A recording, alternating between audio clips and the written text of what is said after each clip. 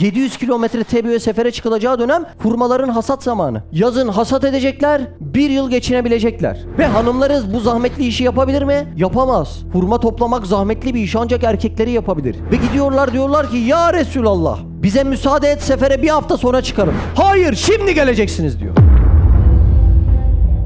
Ulan biz işimizi namaza feda edemiyoruz ya. Çalışıyorum diye namaz kılamıyoruz. Müsait zaman Müslümanız biz ya. Hurmaları hasat etmeden geleceksiniz diyor. Neden? İmtihan tam da böyle bir şey çünkü. Öyle iki seçenek gelecek ki. Nefsin için olanı mı, Allah için olanı mı onu seçeceksin. Biz iş güç var diye Allah'ın yolunu terk ediyoruz ya. Ne bahaneler ne bahaneler. Hasat zamanı geleceksiniz diyor. Bir hafta daha mühlet vermiyor. Biz çalışma uğruna çalışmak ibadettir dedik. Bütün ibadetleri çalışma uğruna felç ettik, terk ettik gittik.